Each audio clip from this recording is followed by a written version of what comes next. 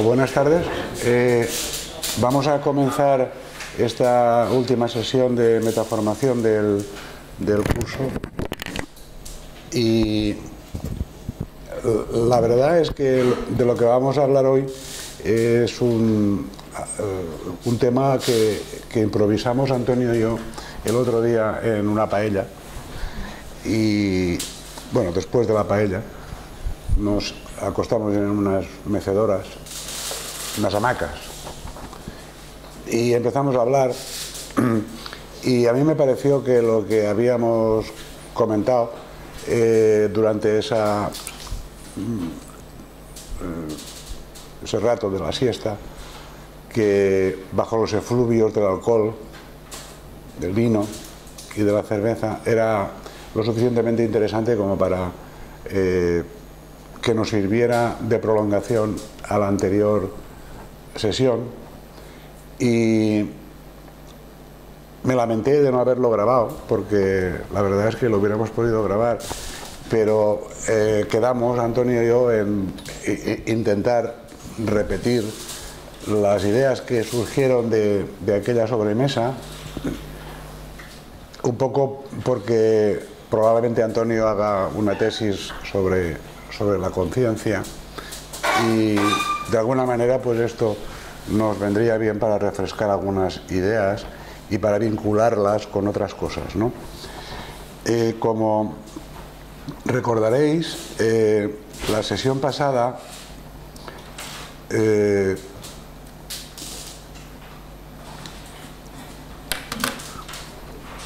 en la, se ha quedado colgado. Se ha quedado colgado. En la sesión, en la sesión pasada eh,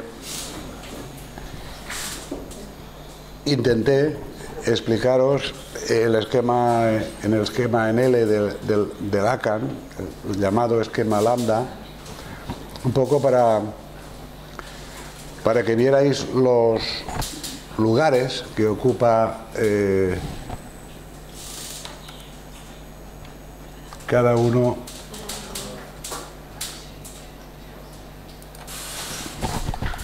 cada uno. Los cacharros, els netbooks van com van.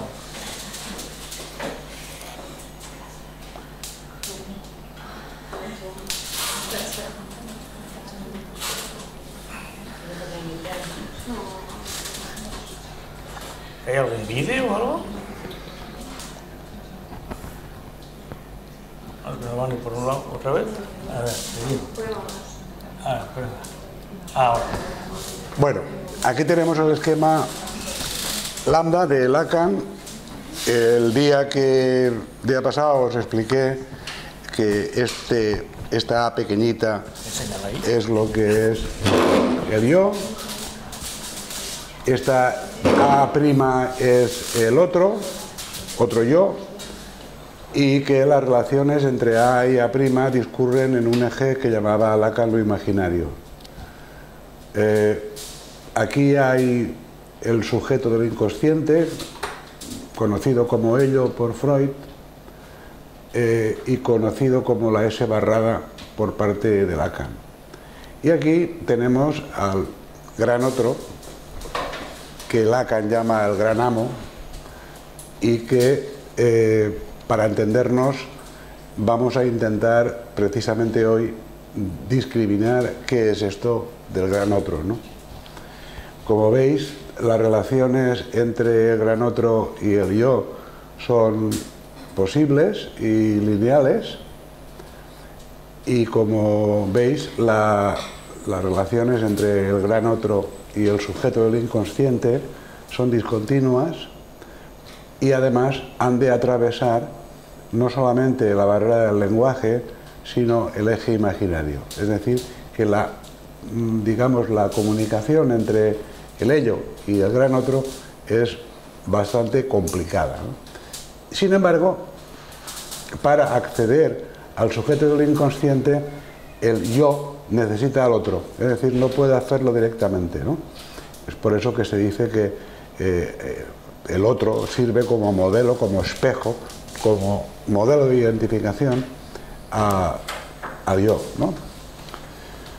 Bueno, esta es la idea que yo eh, apunté en, en el último seminario y ahora me gustaría que viéramos más de cerca a ese otro grande, a ese gran otro, porque,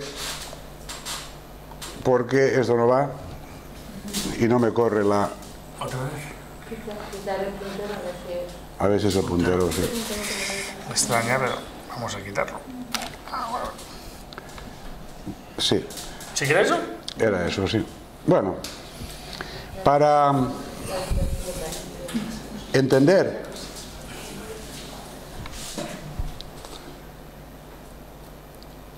Me extrañaba a mí.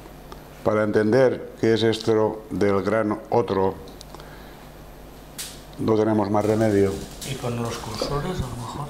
¿Qué hacer este cursor? Sí? Tampoco. No tenemos más remedio que acudir a Platón.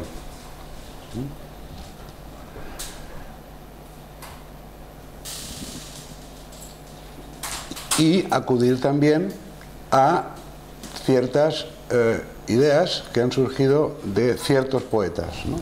Por ejemplo, Plotino, que era un neoplatónico, nos dice, la belleza es una luz que ilumina la simetría de las cosas más que la simetría misma. Dicho de otra manera, la belleza preexiste a la simetría. La simetría es lo que nosotros percibimos, digamos, como eh, resultado de ese reflejo que la belleza con mayúscula pues impondría a la percepción humana. Luego Rumi tiene una, una sentencia que a mí me gusta mucho, que, que, es de antes de que en el mundo hubiera vid o uva, nuestra alma estuvo embriagada de un vino inmortal. ¿eh? Es otra vez la idea de la preexistencia de las ideas, de los absolutos, de los gran otros, eh, y que de ahí procede nuestra percepción eh, racional. ¿no? Como todos sabéis, eh, conocéis el mito de la caverna, que viene a decir algo así como que eh, del mundo solamente percibimos sombras, ¿no? o percibimos perfiles o, o, o, contornos, pero que no podemos percibir la realidad tal y como es fuera de la caverna. ¿no? Esta idea del, de la caverna y de las sombras eh, eh, tiene mucho que ver con la, idea de la EID. ¿eh? La idea, una, una, cosa que tienen los, los, los, idiomas es que es difícil de traducir una, una palabra a otra. ¿no? Y a Dios lo hizo adrede para que nos confundiéramos todos en la Torre de Babel. ¿no? Es decir, una EID en griego nosotros la traducimos como una idea. ¿no? Sin embargo, la EID es algo más que una idea. Una idea, una idea es la traducción, digamos, eh, convencional que se, hace, que se hace de eso. Pero para Platón la idea no es solo una idea, es sobre todo forma, imagen y telos, es decir, propósito. Es decir, por eso la, la palabra EID es tridimensional, ¿no? como que tiene varios, varias dimensiones en sí mismas. ¿no? Bueno, pues la EID es lo mismo, el mismo concepto que para la, que Lacan llama el gran otro, ¿eh? es decir, el absoluto o los absolutos. Fijaros de, de esa palabra si, si, surgen, si surgen traducciones, ¿no? Imagen, ideología, e idea, e idolón, ídolo, ideal. Eh, es interesante saber que, tal y como los griegos concebían el infierno, que le llamaban el Hades, en el Hades habían eh, eidolones, es decir, no había personas, habían eidolones, que son algo así como espectros, espectros que habían perdido la memoria y, ya no, no, no, recordaban nada de su vida anterior. ¿no?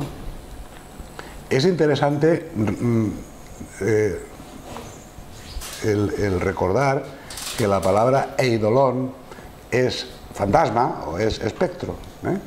Es interesante, porque esto de, alguna manera también entronca con la idea de la idea, ¿no? que es de lo que, de lo que yo quería hablar, y por decirlo de una forma fácil, una abstracción. ¿no?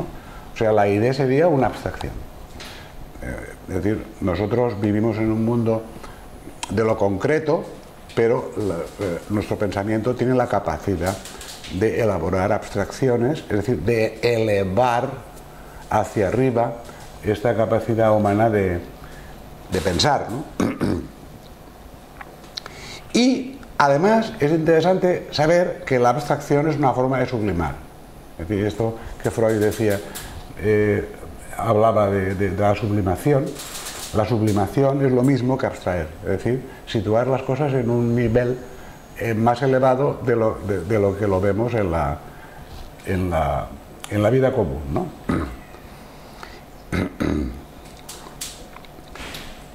Por lo contrario, pues erotizar es el fenómeno contrario al de abstraer. Pero esto no creáis que solamente lo dijo Platón, sino que es una cosa que se ha repetido mucho. Por ejemplo, todos vosotros habéis visto una película que se llama Matrix, ¿no? Lo habéis visto todos, supongo, ¿no? ¿No? ateos. Herejes. Matrix es una película mm, magistral.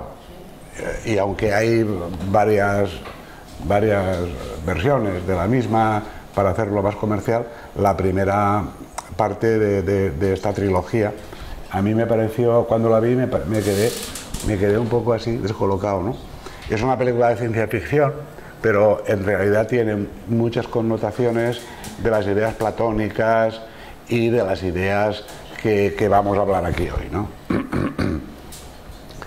Eh, Remedios Baró, que es una pintora surrealista, pues también recoge esta idea de que estamos encerrados en una matriz, ¿no?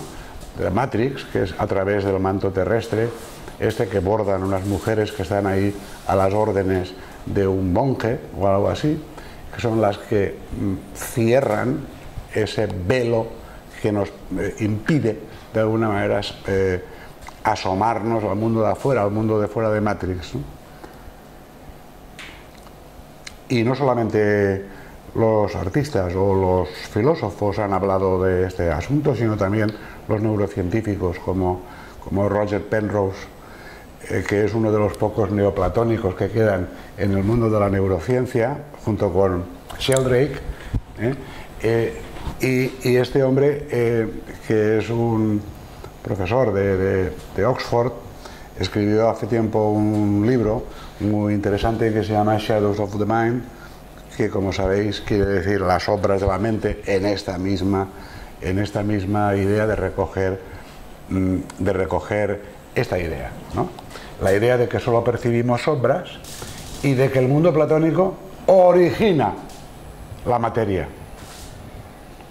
La materia origina el mundo mental y el mundo mental a su vez es capaz de generar un mundo de abstracciones. Es decir, dicho de otra manera, el mundo físico tiene como origen el mundo platónico, el mundo de las ideas. Esto es lo que, lo que a nosotros nos interesa desde el punto de vista de nuestra profesión. Y nos vamos a poner a hablar ahora de estos tres grandes amos que son los que vertebran pues la vida humana. La vida humana, la patología humana y todos los conflictos que los humanos hemos ido desarrollando. ¿no? Tres dimensiones, el poder, el amor y la inteligencia. Bien, si veis o si analizamos o hacemos una especie de revisión histórica de todo lo que es la sabiduría, entre comillas, antigua, pues veremos que la mayoría de explicaciones, inicialmente eran filosóficas o, religiosas o filosóficas, suelen incluir esa famosa Trinidad.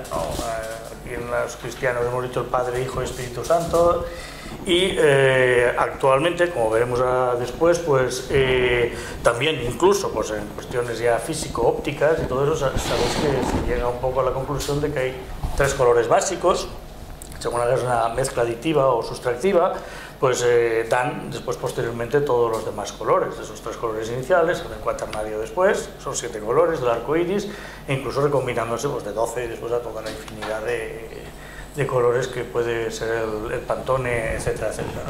Entonces los colores secundarios eh, eh, esto y sabéis que por esa cada, cada color es en realidad una frecuencia y que por esa frecuencia también podemos eh, identificar qué color es, los espectrómetros de masas, que se utilizan tanto a nivel, pues, pues, supongo diagnóstico, a lo mejor en algún sitio se usarán, y también lo usan los astrónomos para ver si el gas que viene de una estrella es helio, o es, etcétera, etcétera, etcétera. Por tanto, todos tienen una vibración específica, pero todos, como veis ahí en la, en la cosita esta, todos son simplemente pues, eh, eh, partes o emanaciones de un, el uno. Y esto pues, muchas veces me recuerda a las cosas que estudiábamos de pequeño, cuando los que íbamos y teníamos la asignatura de religión, que decían que la Trinidad es una y a la vez es tres, y decían el Padre, el Hijo y una palomica, una palomica que vive con ellos, ¿no? el Espíritu Santo, etcétera, etcétera. Pero esa tríada yo, eh, bueno, pues vemos que se está repitiendo en todos los eh, ámbitos y como veremos más adelante, pues incluso pues, en la psicología más moderna, etcétera, etcétera. Las cosas esotéricas, que sabéis que me gustan, se hablan de rayos también, y se tres rayos de aspecto, que son el rayo del poder o voluntad, el rayo del amor-sabiduría y el rayo de la inteligencia activa. Después esto se dividen en cuatro subdivisiones, etcétera, etcétera, que veremos después. El eh, misterio de la Trinidad de las religiones, Padre, Hijo y Espíritu Santo, lo podemos ver en cualquier otra religión. ¿eh? Por ejemplo, Brahma, eh, Vishnu y Shiva, de los hindúes, en Egipto pues tenían Isis, Osiris y Horus, y así podríais pues, encontrar muchísimas más trinidades. Y si buscáis un poco también, veréis que hay una gran analogía. No sé si habéis puesto la, tabla que puse después. A ver, acá.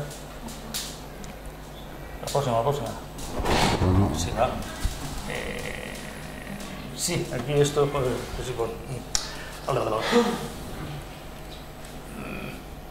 Sí, aquí está más o menos un poco, esto más o menos en el esoterismo se suele decir que el espíritu y la vida tienen que ver con el poder y la voluntad. El cristianismo eso lo ha llamado el Padre, es la voluntad del Padre, etcétera, etcétera. Shiva, el destructor, eh, el dios de los hindúes, he visto que es el que eh, está más allá de la forma, etcétera, etcétera. Lo mismo pasa en Egipto con Osiris, eh, quizá el yang, lo masculino del Tao, y los colores, bueno, podríamos decir que es el azul, pero eso lo menos. Sin embargo, este espíritu normalmente se manifiesta en la materia, es lo que es la apariencia, el mundo de las sombras que, que hablaba Platón o que hablaba Paco antes, vivimos en una matrix, esa matrix sería esa apariencia, y eso tendría que ver mucho con la Virgen María, con el Espíritu Santo, con la eh, manifestación física de las cosas. Ese es el Brahma, famoso de los hindúes, la diosa Isis o Isis, el yin femenino de los taoístas, y el, el color nos da igual. Se dice que esta segunda manifestación es una relación que de momento mantiene separado al padre de la madre, ¿no? y necesita un intermediario siempre que suele ser la tercera emanación. Lo que pasa es que la tercera emanación es consecuencia y es un segundo aspecto en cuanto a vibración, que sería el famoso eh, hijo, o lo que los cristianos llaman como arquetipo el Cristo, y sería el origen también de la conciencia. Eh, de hecho, esa conciencia pues, va en grados crecientes, etcétera, etcétera. Y los hindúes a esto le llaman el bodhisattva, y hay muchos más nombres por ahí. Horus, que sería el hijo. El Tao sería ese equilibrio entre el yang y el yin, que lo es también el hijo, etcétera, etcétera. entonces, esos tres aspectos vemos que configuran todas las, bueno, todas no, una gran mayoría de las eh, teologías eh, de todas las culturas. Si nos vamos ya a algo contemporáneo, yo que sabéis que soy profe de recursos humanos en la universidad, pues bueno, cuando damos el tema de la motivación, pues se suele partir del famosísimo Maslow, y Maslow, sabéis que con tantas críticas que ha tenido, pues ha habido un montón de autores que han intentado replicarlo, etcétera, etcétera. Eh, más o menos lo que suele decirse es que eh, tanto Alderfer como Maglelan pues, intentaron replicar a Maslow, dijeron, lo que hemos encontrado más o menos son tres tipos, otra vez, nuevamente una tríada de motivaciones que curiosamente tiene mucho que ver con, veis casi una analogía de lo de arriba. Eh, en esoterismo, poder, amor, inteligencia que hemos dicho. Maslow, yo las he reubicado un poco, porque el mismo, sabéis que las necesidades primarias, las hizo las fisiológicas, las de seguridad, son las primarias, y si queréis son las de existencia.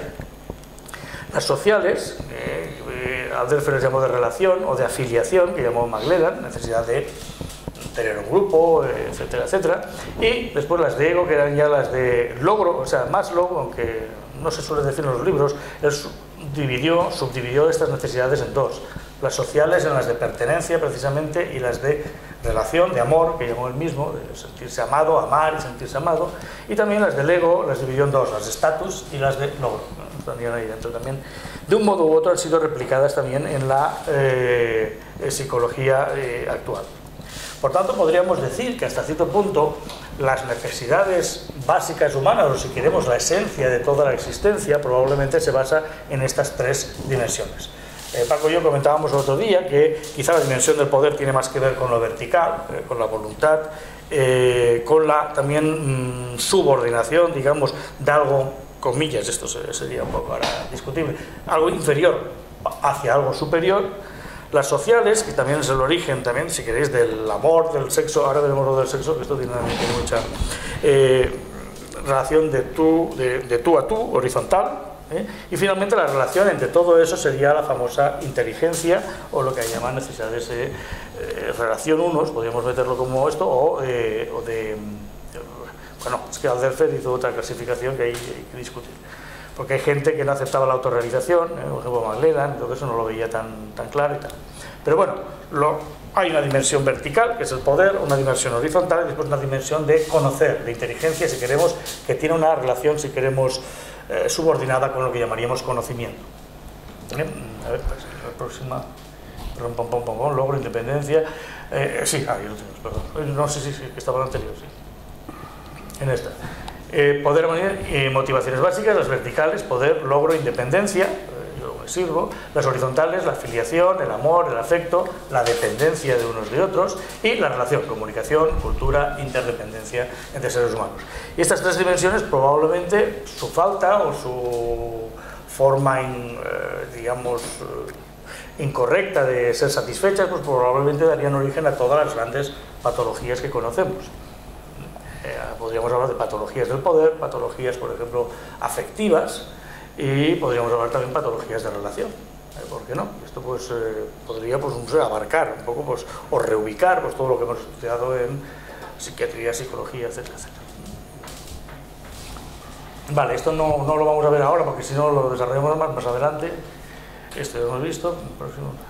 Oye, entonces, lo que suele decirse es que este mundo de las ideas, según la, teoría neoplatónica y toda la línea que siguieron a Platón, es como que hay ese mundo superior, vamos a llamarlo ahí, que es el alma o la psique, o llámese como se quiera, que tiene tres aspectos realmente. Una es la voluntad, el más elevado, que es el poder, otra es el amor, o lo que también llaman los esoteristas eh, la razón pura, o la, la razón fría también, y la inteligencia. Y esto, si pusiéramos aquí como un eje, como si esto fuera un papel y se doblase, eso todo se reflejaría. Lo más elevado aquí en lo más bajo, ahí no sale, pero bueno, esto sería lo físico, lo fisiológico. El amor se refleja en lo que se llama la máscara humana, la persona, en emoción y la inteligencia en pensamiento. Luego, lo que llamamos el ser humano normal, las, estas tres dimensiones que hemos visto antes, Alderfer, Magledan y todo eso, serían el nivel, si queréis, mental, cognitivo, el nivel emotivo, que esto hoy en día sí que está vigente, en las y el nivel, si se quiere, fisiológico, eh, en el cual pues aún hay una duda, si hay un intermedio energético y todo eso entre las emociones y el cuerpo físico, etc. Entonces tenemos nivel cognitivo, pensamiento, nivel de emoción y nivel fisiológico. Pero desde este aspecto canónico o platónico, si se quiere, lo que diríamos es que la emoción, por ejemplo, no es más que el reflejo inferior de la dimensión del amor. El pensamiento no es más que el reflejo de lo que llamamos inteligencia, reflejo inferior, y lo físico o lo fisiológico sería el reflejo de la eh, voluntad.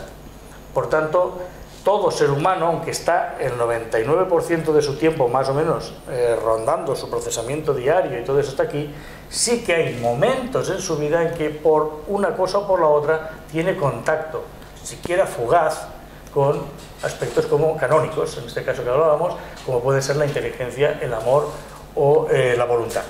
Ese tipo de experiencias probablemente han sido eh, relatadas por artistas, místicos, filósofos, científicos, etc. Por ejemplo, podemos pensar que en cuanto a la inteligencia, por ejemplo, el famoso insight de los científicos, el aha, el, realize, ¿no? el darse cuenta de algo, todo eso tendría que ver más con la inteligencia la experiencia mística, ¿eh? probablemente sería como una emoción sublimada, ¿eh? la experiencia del amor, una experiencia unitiva, ¿eh? horizontal, de que yo soy lo que percibo y lo que percibo soy yo. Sería una experiencia, si se quiere, esta mística, pues de muchas religiones, con el amor. Y finalmente, quizá la de la voluntad, que sería a lo mejor la más difícil, pues sería, yo la he identificado como una especie de presencia y algunas analogías que no sé si después aparecerán por ahí en las transparencias esto lo vamos a dejar de momento, porque si no... Eh, sí, a ver, la, eh, vale. ¿Cuándo será o cuándo accedemos ahí a esas cosas de ahí arriba? Pues hay una cosa que quería poner yo de Ken Wilber, que cita a Habermas, que él dice que el pensamiento o la mente humana tiene como tres formas de funcionar. Cuando enfoca hacia abajo, hacia abajo hablamos de lo mental en, hablamos de solo pensamiento eh, concreto, las emociones y lo físico, la mente es analítica.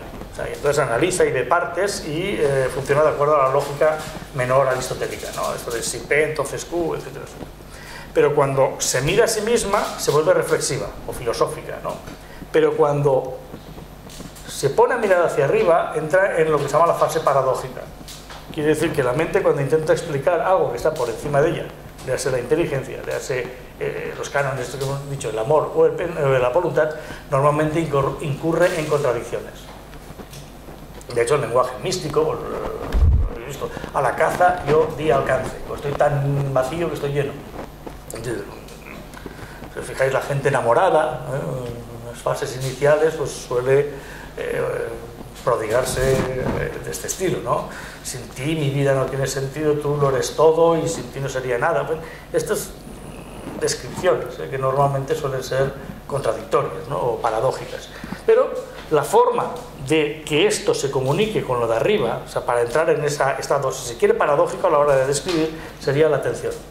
Esto, bueno, en la otra conferencia que hablábamos, por aquí, Hablamos que la atención es un estado en el cual hasta cierto punto estos tres niveles están como quietos o de momento no activos. Entonces existe la posibilidad de acceder a estas dimensiones eh, superiores que podrían ser la inteligencia, el amor o eh, el poder. Vale. Aquí tenéis una tabla que no sé si, si, si os podido meterla porque le dije... A ver. Bueno, esto es coger a Maslow eh, y ver cada nivel, según Maslow, de estos niveles inferiores, todos tienen un peak, eh, un peak experience, un, un peak noético, ¿no? ¿Qué es un peak noético? Todos estemos en el estado que estemos, hasta cierto punto, estos estados superiores sí que inciden en nosotros. Lo que pasa es que inciden de acuerdo a nuestro, vamos a llamarlo así, nivel de eh, comprensión o nivel evolutivo, etc.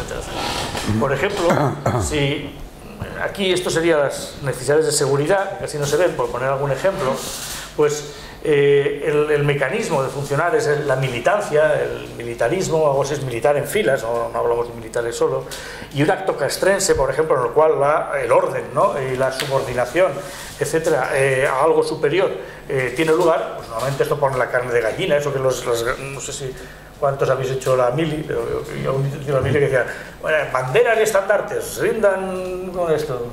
honores. Rindan honores. Y entonces eh, subían la bandera de España y ¡bum! subían todo así, y se agachaban y todo. Bueno, es un acto castrense, podría ser algo que tendría que ver con las necesidades, si queréis, de seguridad, tiene que ver con la militancia y todo eso, y sería una especie de experiencia cumbre, de contacto un poco con eso superior, pero al nivel de, que tenemos en ese momento.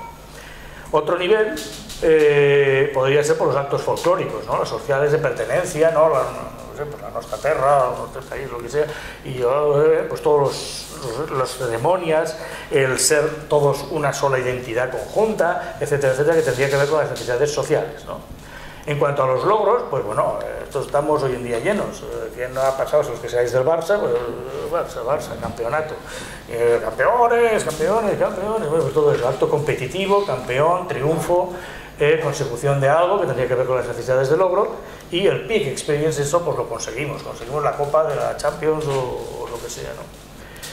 Eh, las necesidades de estima, eh, que sería un poco superior, si queréis, las de estatus y todo eso, pues se llenarían un poco con las cuestiones de gloria, honor, categoría, eh, méritos, un, homenaje a fulanito que se jubila o un doctor honoris causa que se... o, en fin, lo que se quiera, pues un acto solemne, un homenaje, etcétera, etcétera, que reconoce el estatus o el poder, digamos, de alguien en una institución, etcétera, etcétera, pues tendría que ver con esto. Y finalmente ya tendríamos ya experiencias más típicas, por ejemplo, de el científico, ¿no? el insight, cuando descubre algo y de pronto se le revela a alguien eh, un aspecto de la realidad o de, para entender algo que hasta ahora estaba oculto, entonces tendrías una especie de insight, y ahí tendrías las místicas y todo eso para arriba. También aquí, y esto es lo que estaba comentando a Paco ahora, que creo que a lo mejor lo que voy a hacer con la tesis es pensar que las necesidades básicas de Maslow en el fondo son tres, y son tres dimensiones verticalmente distintas. ¿eh? Unas básicas estarán relacionadas con la inteligencia, otras con el amor, con la afiliación y tal, y otras con el poder. Y Maslow esto lo intuyó, y esto creo que poca gente lo sabe, pero él sí que distinguió también una jerarquía de necesidades cognitivas. También introdujo unas estéticas, ¿no? pero en las estéticas no las desarrolló. Las, eh, las, las cognitivas, él dijo dos, ¿no? que había una jerarquía. Uno que sería saber, sistematizar, organizar, analizar, y otro nivel superior que sería entender. No es lo mismo saber que entender. Yo le he añadido otra, está más abajo, que es a niveles más bajos de la jerarquía, que sería el cotillear, la, curiosidad. ¿no? O sea, esa es necesidad cognitiva o de la inteligencia básica de saber. ¿Sabes la última? Que mira, mira, y te contaré. ¿Te acuerdas del suicidio? ¡Ah! El cotillear, ¿no? El saber. Incluso, pues, eh, también el saber en el sentido de, por ejemplo, viajar. Hemos ido a un viaje y hemos visto esto y lo otro y lo demás allá y que era muy chulo porque ahí en este país lo que hacen, bueno, en fin, etcétera, etcétera, ¿no?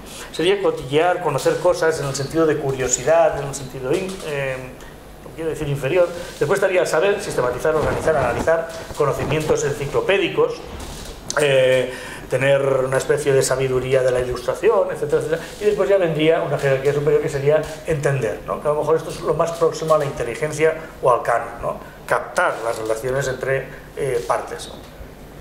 Quizá a nivel de lo social, eh, a nivel de lo, de lo, del amor, pues tendríamos, si queremos, desde el amor mm, propio o el amor mm, de la familia a, a los más allegados, a amor pues quizá ya más hacia los grupos, hacia pues, mi tierra, mi cultura, mi país, o etcétera, etcétera, y quizá pues después llegaríamos a un amor, si se quiere, universal, planetario, etcétera, etcétera. También se podría ver una especie de, eh, de, jerarquía en ese sentido.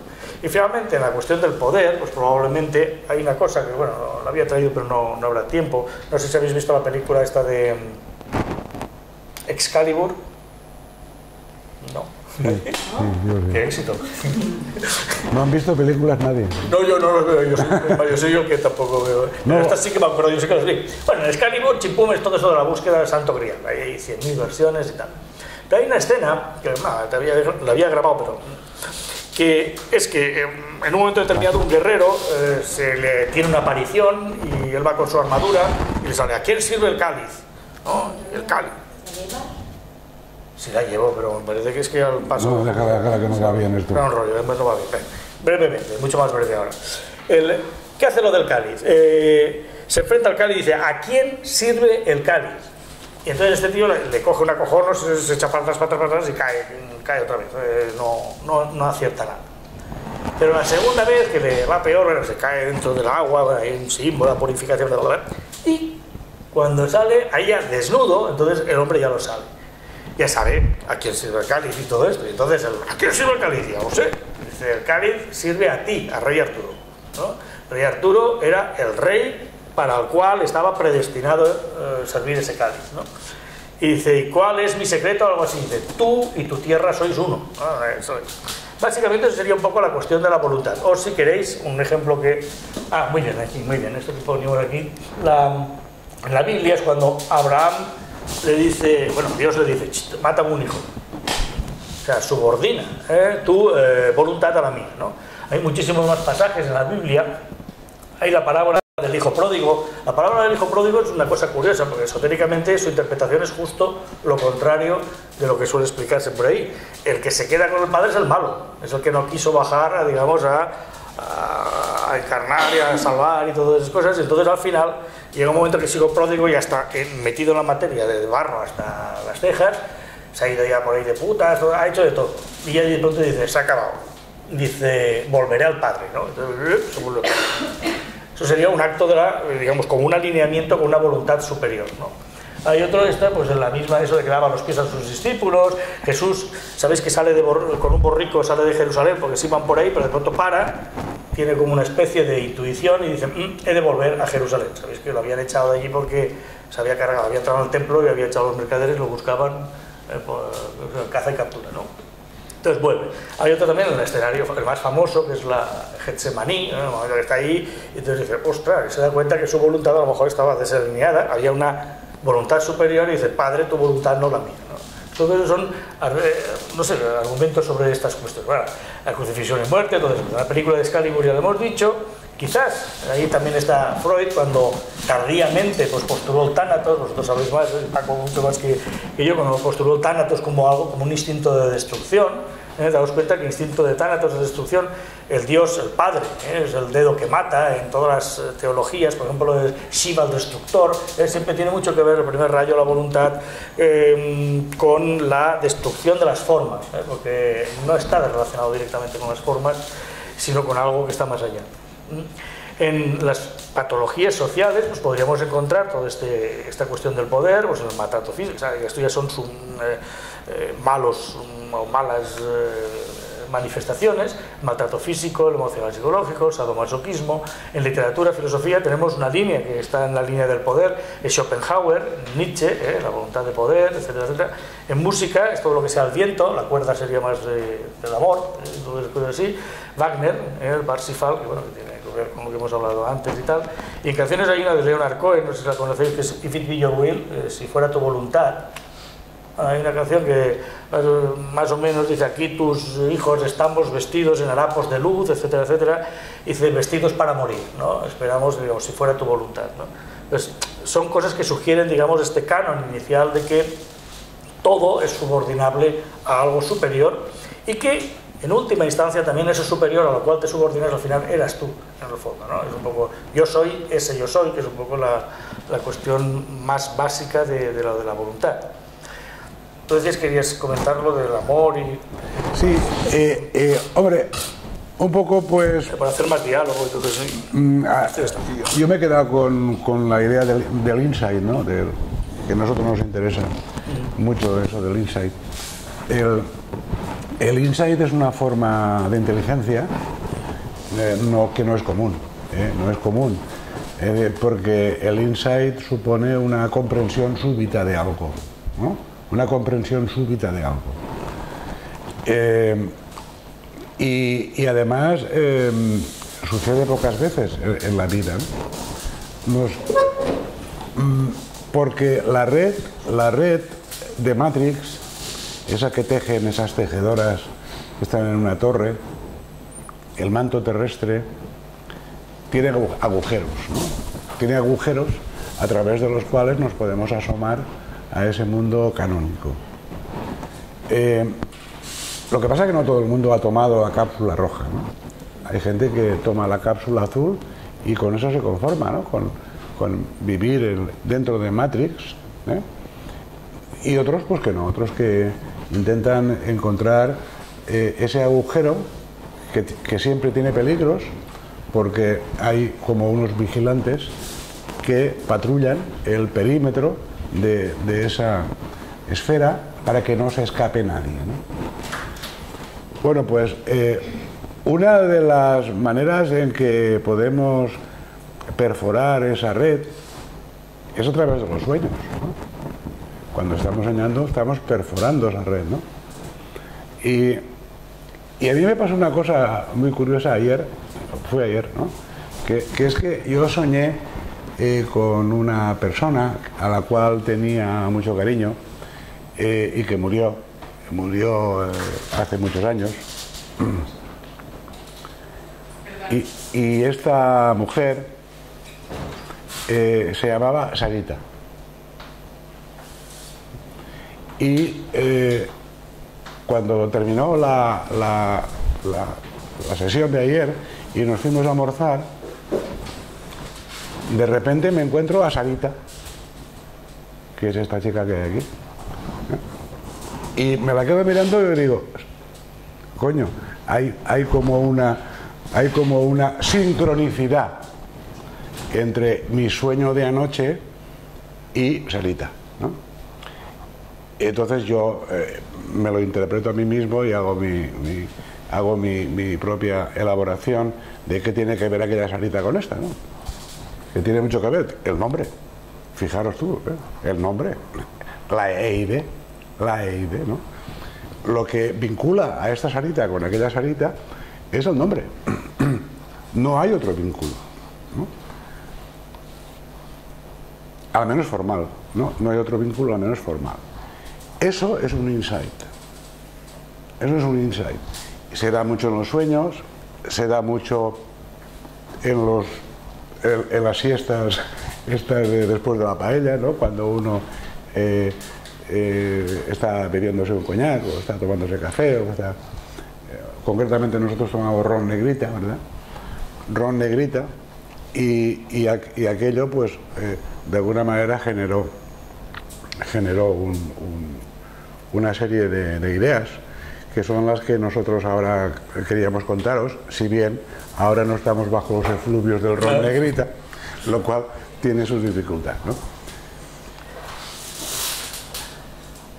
Y si recordamos precisamente eh, la sesión de metaformación anterior, os acordaréis que hablamos del síndrome de Stendhal. El síndrome de Stendhal no era más que eso, una, una perforación. ¿no?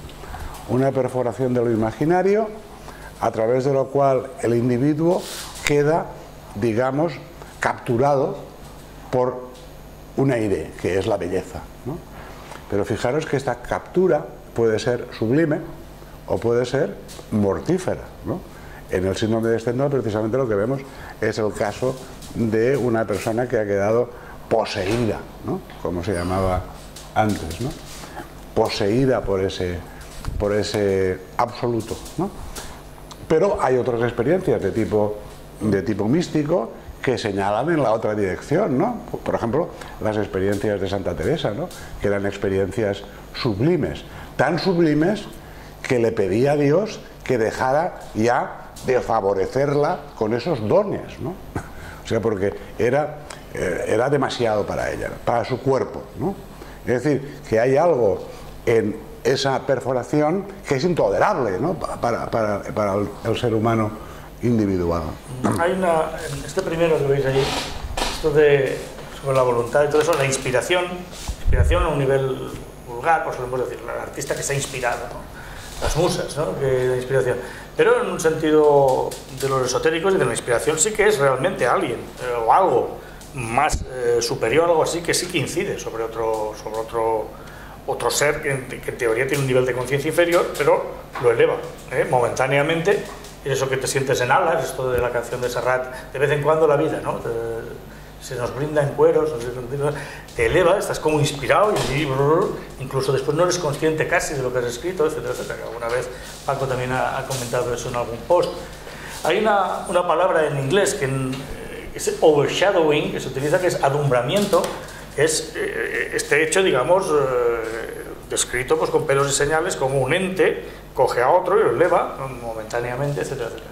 Pero bueno, podríamos decir que eso es la inspiración. Otra es la famosa experiencia mística, aunque aquí lo conocemos más, digamos, como esta de aquí que veis, devoción, ¿no? Es la adoración. En las religiones militantes como el catolicismo, el cristianismo, que son muy de de adorar eh, algo superior y etcétera, etcétera, pues esa adoración eh, te, pues te eleva, digamos, o te hace identificarte con algo y son experiencias que te ponen la carne de gallina o te llevan al más allá, etcétera, etcétera.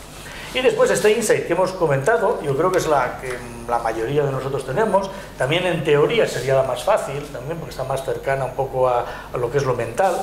Y eh, ese insight, en el momento que lo ves, no sé si os ha pasado, pero alguna vez haciendo artículos y todo eso, estás ahí que no te sabes, y de pronto te quedas así y dices, y además es que te transformas un poco como diciendo, ya lo tengo, ya lo tengo, ya, ya, ya, ya, ya, y otro dice, espera, espera, espera, Y, entonces, eh, quizás pues a lo mejor más personas participan, como digamos, en ese, de ese insight, de esa revelación, en ese momento y cambias a lo mejor totalmente el, eh, no sé, pues lo que estabas escribiendo o la dirección, o de pronto ya pillas el sentido de lo que estabas intentando decir, ¿no?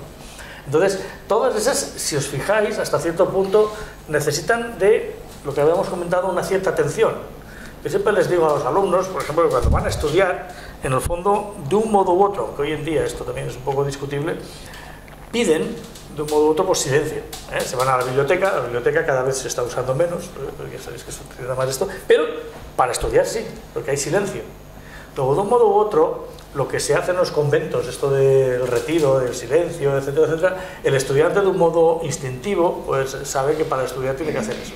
Hace una especie de disciplina en la cual el cuerpo físico más o menos está quieto, emocionalmente se supone que también, más o menos, y la mente relativamente bien para poder no sé, pues asimilar nuevas cosas. En un momento determinado que estás dando vueltas a un problema que no entiendes, etcétera, etcétera, hasta que de pronto viene un ya lo he entendido, ¿no? Etcétera, etcétera. Estamos hablando de, situaciones, digamos, en las que normalmente estamos pues pensando con emociones y todo eso y puntualmente nos suelen venir insights. Insights eh, puntuales eh, que, nos reorganizan.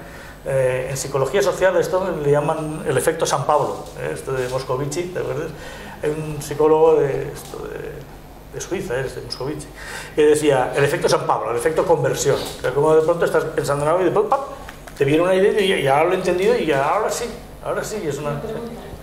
Cada nivel de conciencia tendría su insight particular. Sí, es lo que he comentado antes, claro.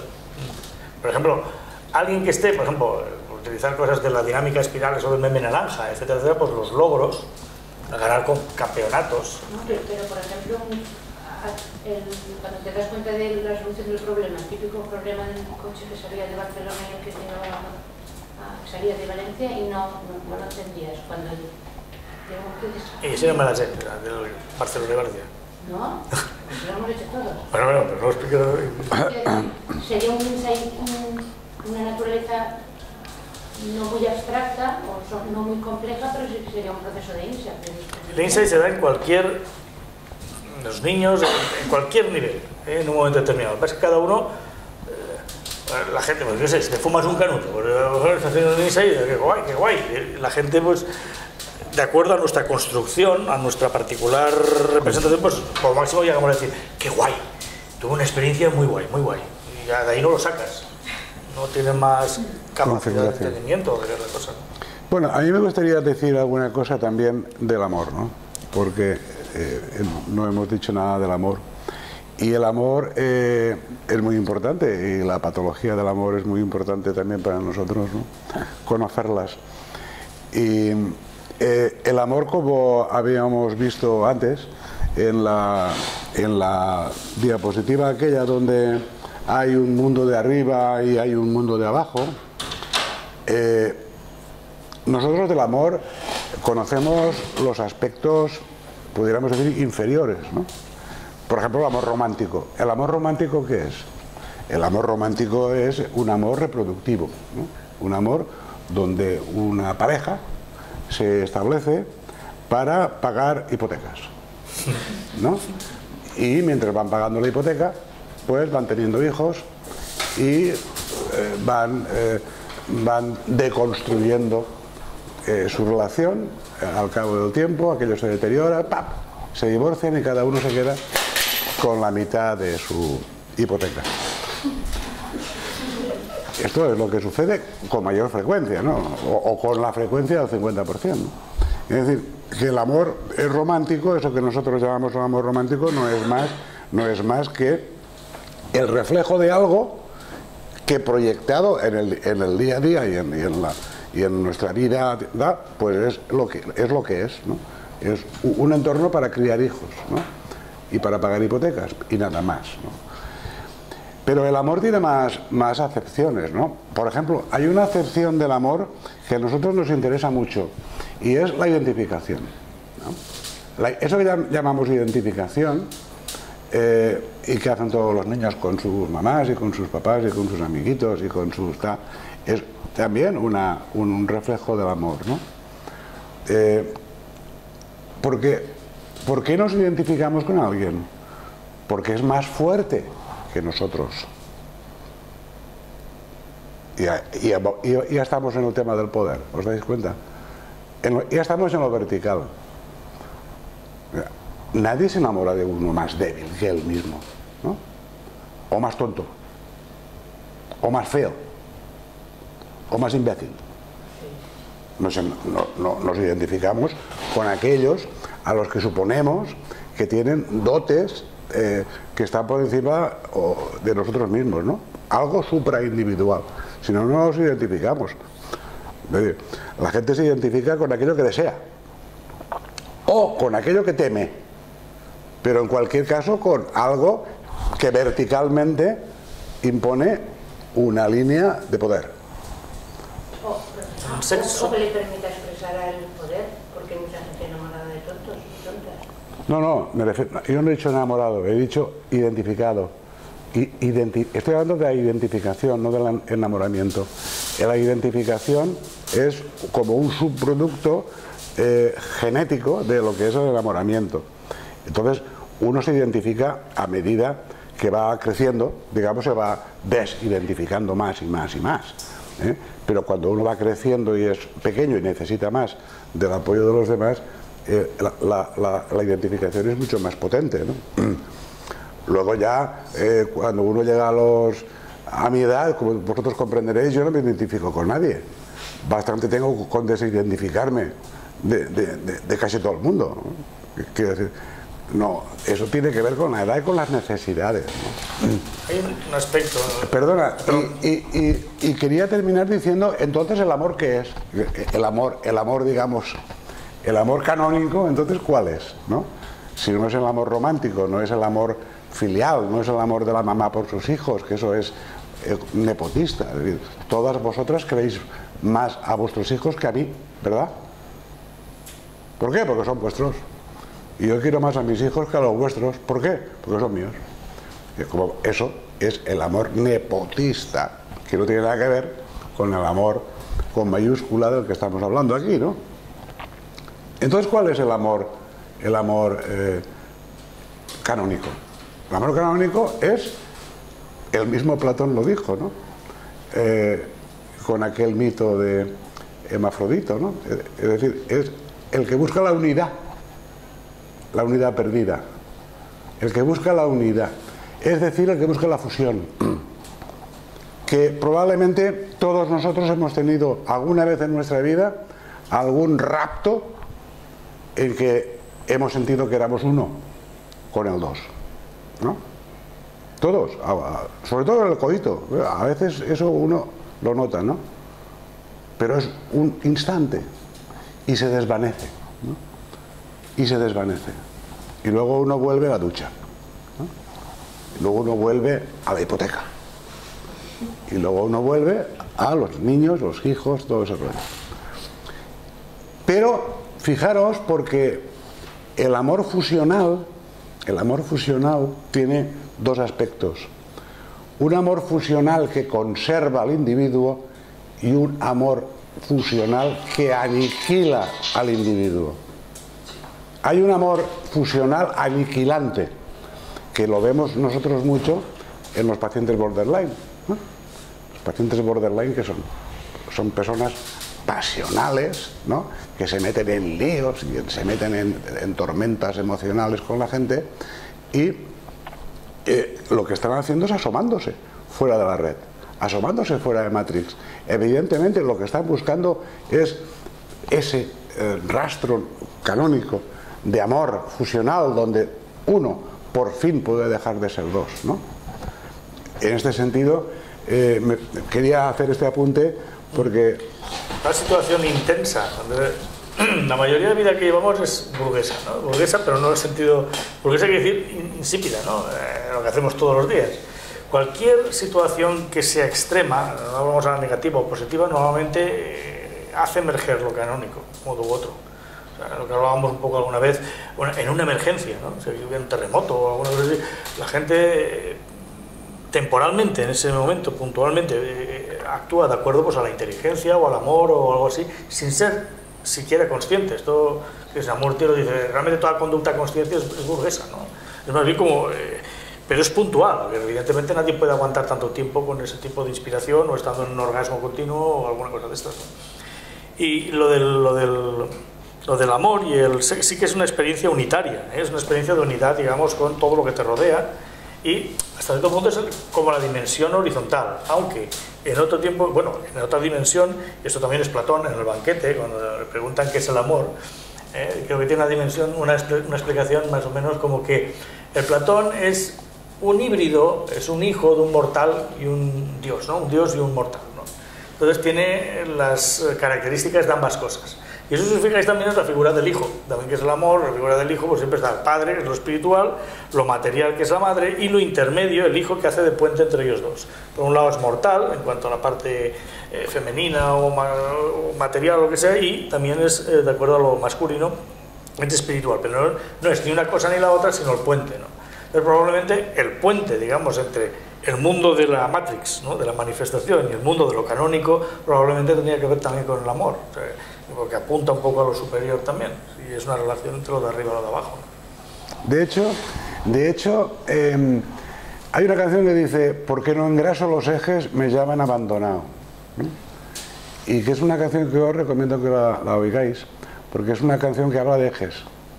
En realidad habla de ejes. Ejes. Y es muy interesante reflexionar sobre los ejes, porque estamos hablando de, de, de aspectos tridimensionales. ¿no? ¿Qué, es un eje? ¿Qué es un eje? Una cruz. ¿no? Hay un eje vertical y un eje horizontal. Y esto es muy importante para el mundo de la pareja. Eso lo tenéis que saber todos. Una mujer necesita un eje masculino que la atraviese de arriba abajo. Y un hombre necesita un eje femenino que lo atraviese transversalmente. ¿Qué es un eje? Un eje es lo que te sostiene. Te sostiene y te limita.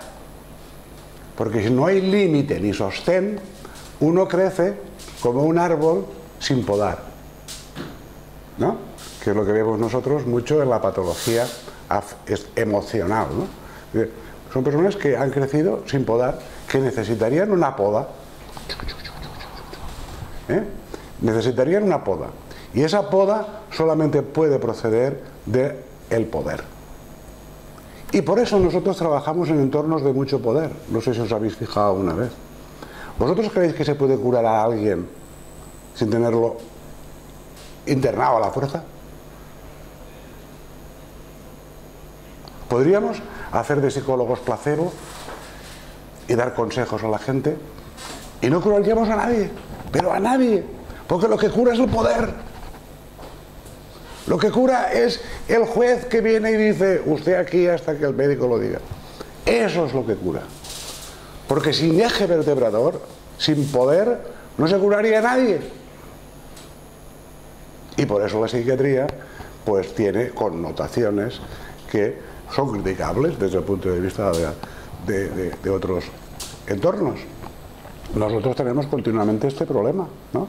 Nosotros eh, tenemos, eh, nos regimos por el poder y los entornos educativos por la mamá. ¿eh? Pobrecito. Ay, pobrecito. Pobrecito. Venga, lo que hay que hacer es que venga la familia y que lo vea. Ay, pobrecito. No, no, la familia aquí no viene. Aquí no viene ni Dios. Porque lo digo yo. Porque la psiquiatría es padre y la psicología madre. Recordad, los pires, que si estáis aquí es para aprender eso. Porque lo que diferencia un psicólogo clínico vía PIR de un psicólogo clínico vía no PIR es que sabe lo que es un enfermo mental. porque lo ha visto de cerca. No se lo han contado, lo ha visto. Y sabe que los enfermos mentales no se curan. Nadie, sino es con un ejercicio duro del poder. Por eso, por eso, la mayor parte de los, tratamientos psiquiátricos son contra la voluntad del paciente. Claro, claro que contra la voluntad del paciente. Cuando encontramos un paciente que tiene voluntad de cambio, eso, eso, eso lo puede hacer hasta un psicólogo vía no pir.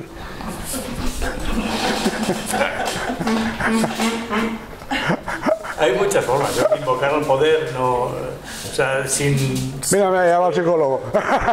sin Ya- estar al psicólogo vía no recurriendo a la figura, sea el psiquiatra, el psicólogo, o lo que sea, ¿no? El, eh, yo creo que Corporativismo. Ya veo, ya veo, Pablo, ya veo.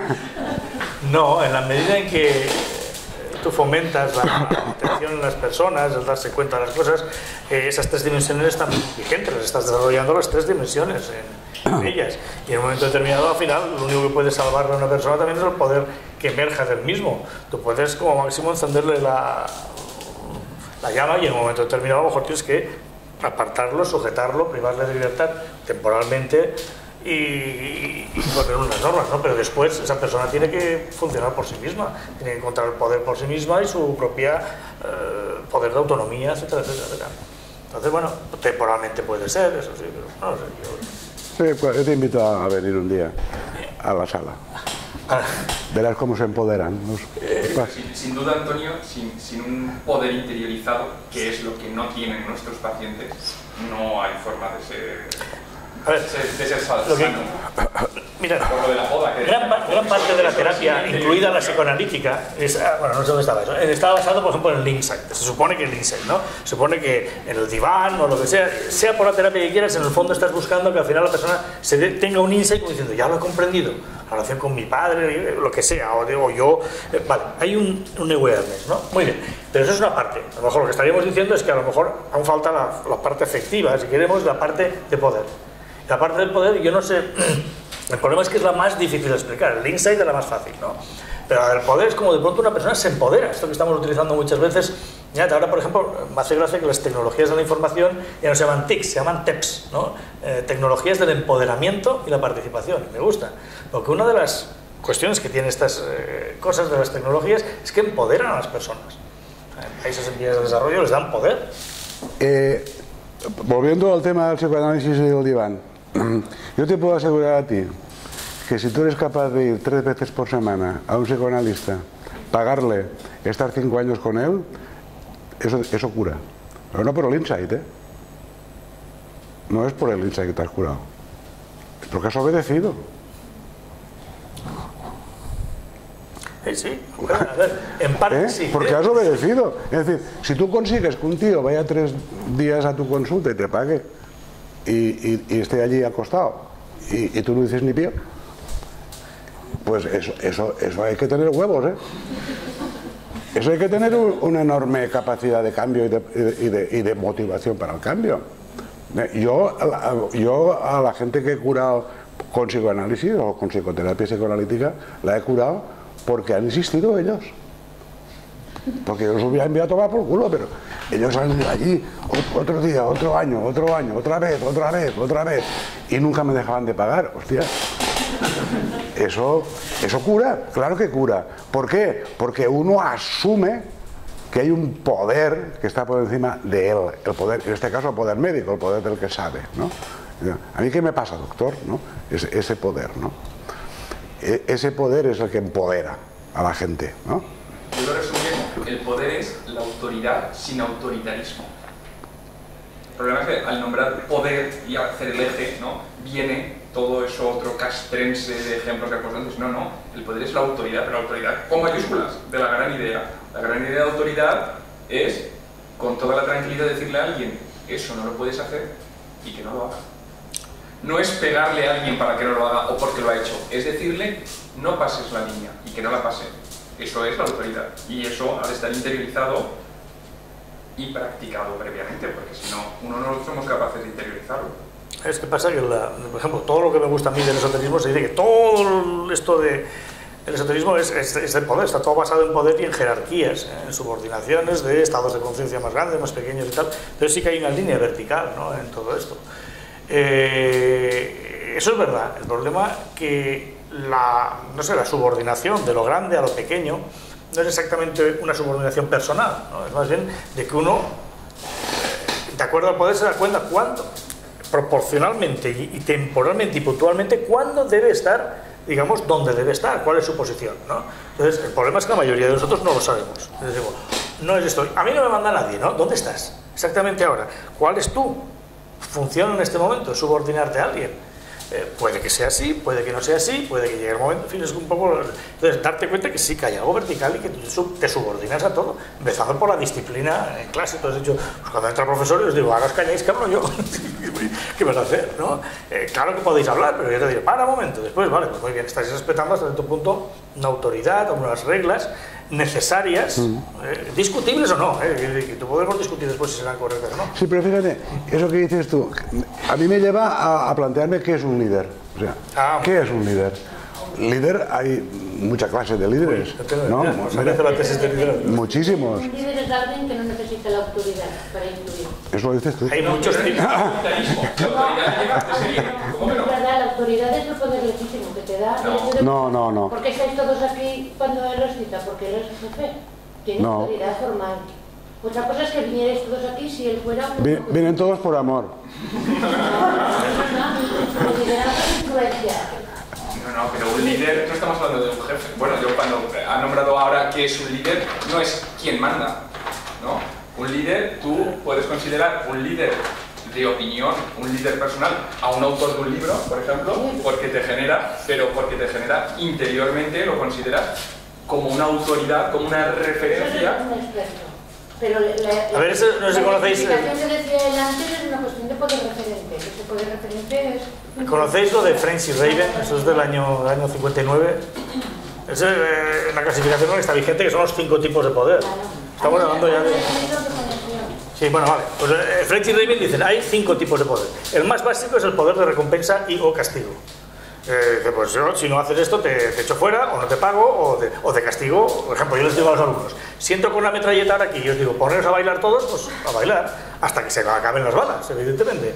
Al revés, siento aquí dando billetes de euros, de 100 euros, eh, Tomás, y baila, y que todo el mundo a bailar, poder de recompensa. Pero lo que yo consigo es modificar la conducta externa. Quizá por dentro la gente me está odiando, pero mientras yo tenga la escopeta o los euros, vale. Ese es el poder de, mm, de recompensa que se llama coercitivo, más bien. Después está el poder del, em, de la tradición, ¿no? Eso que mi madre cuando venía el obispo hacía una genuflexión, le besaba el anillo y todo eso, o incluso también la tradición en, una, en un autobús, una viejecita que entra, te levantas, señora, etcétera, etcétera, ¿vale? Eso es de la tradición, o fin, que cree en algo, todo bien. Después está el poder también del el, el- formal, es el formal de quien es jefe o, lo que sea. Yo soy un guardia civil, o soy el catedrático, o soy el jefe de servicio, o lo que sea, y yo digo, tú aquí, aquí, aquí, y formalmente yo tengo derecho a hacer eso, o el guardia tiene derecho a pedirme los papeles y ponerme una multa, etc. Es el poder, digamos, que eh, lo otorga la institución. Y después viene lo del líder. Después viene, bueno, está el poder del experto también, el experto que yo siempre digo, para ser experto tenéis que poner cara siempre de aburrido. Si, si- si no pones cara de aburrido no eres experto, ¿no? Que es el poder que hay hoy en día. Eh, tenemos aquí a don fulano de cuál, máster en cuál, doctor no sé cuánto, ministro de no sé. Oiga, ¿qué opina usted de la deflación económica? Y digo, mire, para que nos entiendan bien los telespectadores, el experto, ¿no? Vale. Y eso también tiene poder, ¿no? Entonces, yo siempre les pongo el ejemplo. Si viene aquí un mendigo y, digo, y lo hago entrar y, y antes les digo a los otros, mirad, este pobre hombre está ahí, es Navidad, eh, le hace ilusión dar clase, me ha dicho, pues va a venir va a pegar un rollo, eh, cinco minutos. Y él llega y dice, no fumáis, no fuméis, es muy malo, se va. Todo el mundo dice, "Ah, que hemos hecho la buena obra. Pero si lo presento como diciendo, es un crack, es un tío que ha estado en Harvard, que tiene no sé cuántos doctorados y no sé qué, y que ha estudiado sobre el fumar, y os lo va a explicar de forma muy sencillita. Y entre y vuelve a decir lo mismo, pues todo el mundo dice, que bien nos lo ha explicado, a dejarme de fumar, el poder del experto, ¿no? Vale. Y después está el más misterioso, que es el referente, el liderazgo que se llama carismático, ¿no? Que es normalmente la, explicación más eh, acertada es que es un proceso de identificación. El poder que tenían los Beatles con las fans, porque hay un fenómeno también femenino que no, sé, no es tan masculino, o sea, el fenómeno de, las fans. ¿eh? Las fans y los grupos musicales y todo eso, y, es- estirándose el pelo. ¿qué tiene esa persona que tú ves como un líder? Líder es carismático, pues está desde Gandhi, Hitler también lo era, o sea, pues hay blancos y negros de todos los colores, pero tiene una capacidad de llegar al fondo de las personas y tal. Y ahí hay muchas teorías. Es que esto mm, también, bueno, tú dices la tesis, pero yo el trabajo de investigación lo hice mm, de mi tesis eh, antigua, era todo basado en el poder, en entender las organizaciones como el poder. Y entonces hay también mil explicaciones. Está el, el, el Adam Smith que decía que es un genio. que es un líder? Un tío que después de haber hecho todas las cosas de la vida, aún le queda energía para crear o para lo que fuera. Schopenhauer también hablaba algo de eso, del genio. Después está, por ejemplo, los, los, los, los, los de Durkheim y todo eso, que dicen, no, no, el, el, líder no es el sol, es la luna. Refleja lo que los demás quieren. Pues, por ejemplo... Eh, no, son capaces de generar ese ritual colectivo. Sí, el ritual colectivo, que normalmente yo siempre digo las tascas, las tascas de beber, ¿no? Eh, ¿Qué es de beber? Eh, pues, bufado, entonces siempre aparecen los arquetipos, emergen los arquetipos, de, ah, mi amigo, te presento a mi amigo. La acabas de conocer. ¿Cómo, cómo te llamas? Te voy a presentarte aquí, y ¿cómo te llamas? Pepe, ah, te presento a Pepe, lo conocí hace una hora en las tascas.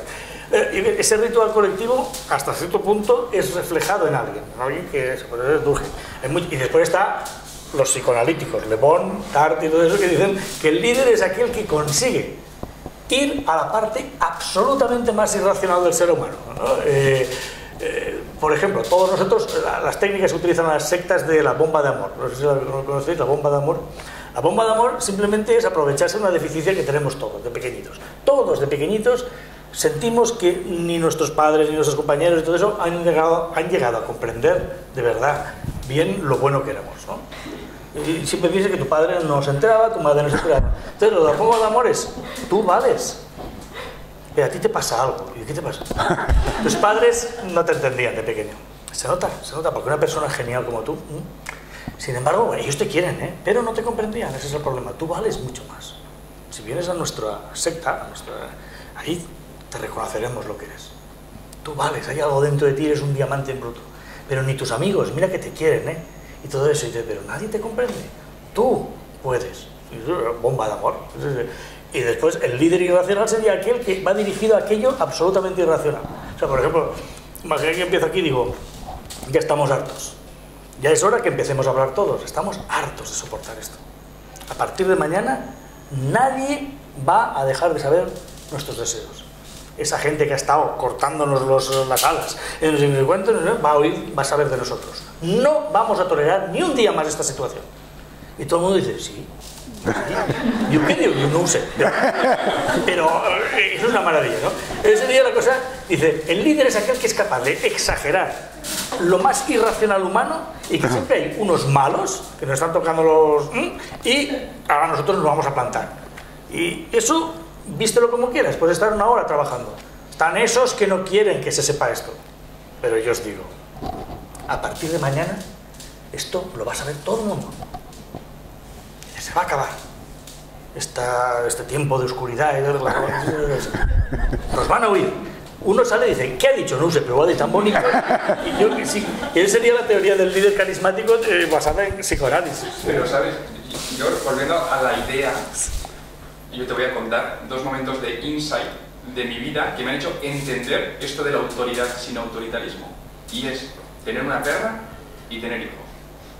Y darme cuenta que se parece mucho. Tomé conciencia un día, y os lo estoy contando en serio, en que mi perra sería capaz de dejarse acuchillar por mí sin renegar, de tanto que me obedecía y de tanto que me quería. Y jamás fui agresivo por mi perra ni nada por el estilo. Eso era amor de la perra, eso era así. Y cuando con tus hijos tomas conciencia de que criándolos, eh, esa identificación o ese lo que yo hago influye en ellos y lo que yo digo ellos lo hacen es porque tú eres la autoridad y te están interiorizando como autoridad. Ahora bien, en función de que tú utilices técnicas de manipulación de masas, con los ejemplos que acabas de decir, técnicas de cabronazo o técnicas de quererles, cuidarles y mimarles, pues vas a ser un tipo de líder u otro. Pero lo que genera el liderazgo es que el otro te asume como la autoridad, pero como la autoridad porque es el que expones lo que hay que hacer Y ahí además están los otros patrones. Sí, se llama ese poder referente, o sea, que es, el como que es el- referencia. que es el- que es el estilo democrático, que es el estilo autoritario, que es el estilo pasivo, sí, pero esos son descripciones de los estilos. Pero lo que está en el fondo, en el fondo de todo, es que te interiorizan de verdad como la autoridad, como la autoridad con mayúscula, ¿no? Luego, eh, no estamos hablando de, de- de cómo se ejerce esa autoridad, sino del, un poco del concepto. Y yo, por lo menos, yo personalmente, es una confesión, eh, es el darte cuenta de que es verdad. Y, y el problema es que creo que poca gente que tiene hijos se da cuenta de que eso es lo que ocurre con sus hijos y con ellos. Y ahí están peleándose o dando vueltas o persiguiéndose unos a otros sin darse cuenta de que la clave sería eh, encontrar ese equilibrio, ¿no? Ese equilibrio. hasta el momento en que tendrás que dejar de volar, ¿no? También. Y tendrás entonces que empoderarse el mismo y poco a poco dejar. Primero, es una cosa muy eso, primero se deja la madre, después al padre y todo eso, pero también al final te independ- independizas, ¿no? También sí, sí, sí, sí, sí. Te Llega un independ- momento que eres absolutamente... Te independizas si puedes, si puedes. Porque si eres esquizofrénico no te vas a independizar ya, nunca. bueno, sí, pero Quiero decir salud, que... Se supone que sería... Claro, claro, que el empoderamiento sirve para que las personas se conviertan, digamos, en, en auto, en autogobernables, ¿no? que se puedan gobernar a sí mismos. Claro que sí, claro que sí. Pero hay un dicho que, que dice, eh, mm, eh, que- bueno, lo- lo- aquí hay alguien que ha hecho la mili, nadie, ¿verdad? Yo, Nadie. Sí. ¿Nadie? Joder. De verdad. sí, Sí, ya sé que sí. En la mili hay una cosa que se repite mucho, que es que para saber mandar hay que saber obedecer. Si tú no has aprendido nunca a obedecer, nunca podrás mandar. Y eso es una cosa que se ve mucho en la mili, ¿no? Eh, Y, se ve mucho con los hijos. Los hijos hoy en día mandan, tienen mucho poder, tienen mucho poder, hacen lo que quieren, de los papás y de los abuelos, por lo tanto no saben obedecer, por lo tanto nunca podrán mandar, por lo tanto serán líderes malos, malvados, psicópatas, eh, lo que tú quieras. Nunca llegarán a, a poder eh, entrever que fuera de Matrix hay eh, eso que se, llama, que se llama el poder y que es lo que nos articula. ¿no? Muy bien, pues si os parece y no tenéis ninguna pregunta más que hacer eh, a los que sí que hemos hecho la mili, pues lo podemos dejar ya aquí. Eh, la pipa de Marguerite, ¿te has dejado? sí, eh, la pipa de Madrid. No, esto no es la pipa de Madrid. ¿Ah, no? No, Eso es lo de sí, plano, eso de Shield. bueno, No, esto, esto es una foto que puse ahí para explicar lo que es una sección. Es decir, nosotros percibimos del mundo sus secciones. Fijaros, imaginaros que vosotros vivís en el plano, en dos dimensiones. ¿eh? Una, una- una hormiga ¿eh? que vive en esos planos y que en ese plano cae una pipa. Lo que veríais sería eso, a medida que pasa... pero no la pipa. La pipa no la podéis ver, ¿no? Lo que veríais es la sección de la pipa en el plano. ¿Eh? Y, y- y- yo cuando vi este, este mm, dibujito, que lo saqué de rojo, de rojo padre, de rojo padre, pensé inmediatamente e- en esos, en esos artefactos que aparecen en Francia o en Inglaterra, que son como figuras geométricas que está que no se sabe muy bien eso que como, Ah, los círculos de las cosechas. Sí, los círculos de las cosechas, que no sabe nadie eso cómo viene, ¿no? Y, y- y se me ocurrió a partir de, de- de esto de la pipa. Ah. Muchas gracias.